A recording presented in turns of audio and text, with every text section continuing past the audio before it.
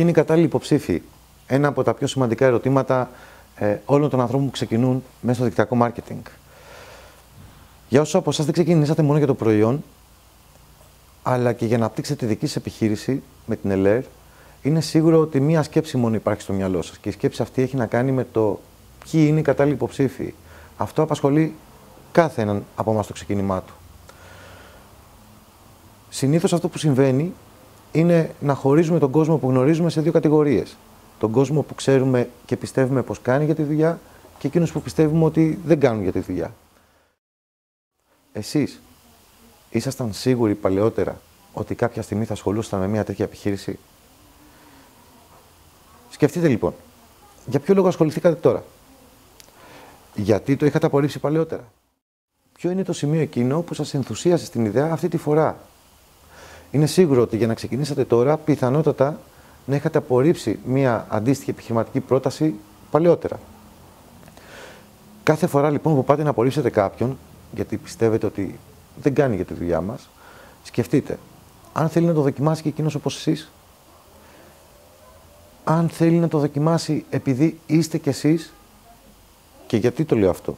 Γιατί οι περισσότεροι άνθρωποι ξεκινούν σε μια τέτοια επιχείρηση όχι γιατί απαραίτητα κατάλαβαν τι συνέβη από την αρχή, αλλά γιατί εμπιστεύτηκαν τον άνθρωπο που τους μίλησε.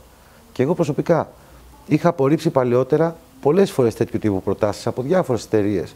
Όμως εδώ βρέθηκα γιατί εμπιστεύτηκα πραγματικά τον άνθρωπο που μου μίλησε. Προχώρησα γιατί εμπιστεύτηκα τον άνθρωπο που με καθοδήγησε.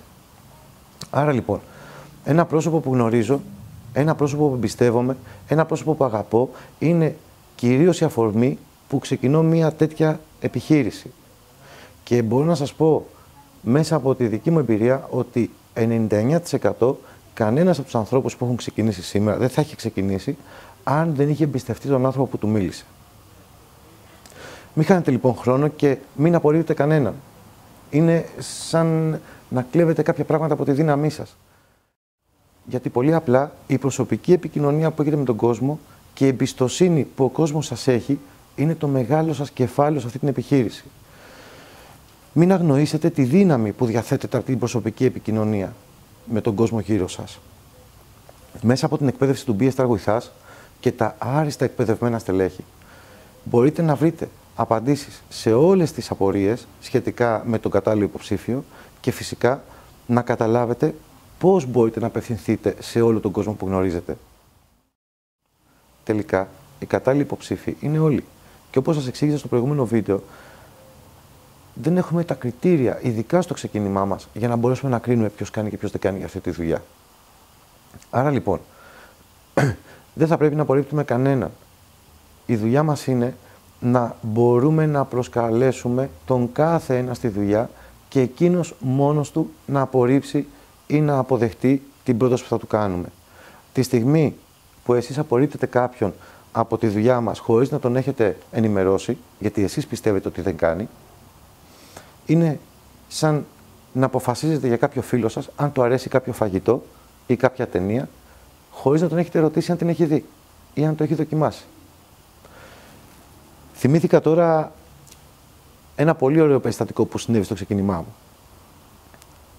Ένας φίλος μου ήρθε σπίτι μου τρεις μέρες μετά το ξεκίνημά μου και είδε το σετ, το σετ κίνηση που είχα παραλάβει από την εταιρεία. Όταν με ρώτησε λοιπόν ποιος ξεκίνησε με την ΕΛΕΡ και του είπα εγώ, μου λέει Είμαι και εγώ στην ΕΛΕΡ. Του λέω: Ωραία, ρε Γιώργο, γιατί δεν μου μίλησες; Ξέρετε τι μου είπε; Δεν κάνεις μου λέει εσύ γι' αυτά. Γι' αυτό δεν σου μίλησα.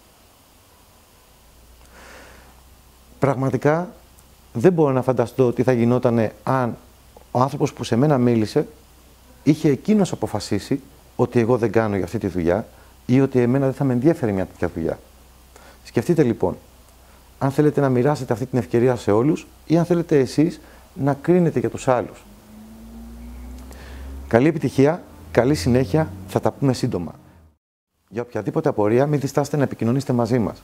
Τα σχόλιά σας μας δίνουν δύναμη. Μπορείτε να φέρετε τα σχόλιά σας, να γράψετε τα σχόλιά σας ακριβώς κάτω από το βίντεο, να κάνετε τις ερωτήσεις σας κάτω από το βίντεο και εμείς θα είμαστε εκεί να σας απαντήσουμε.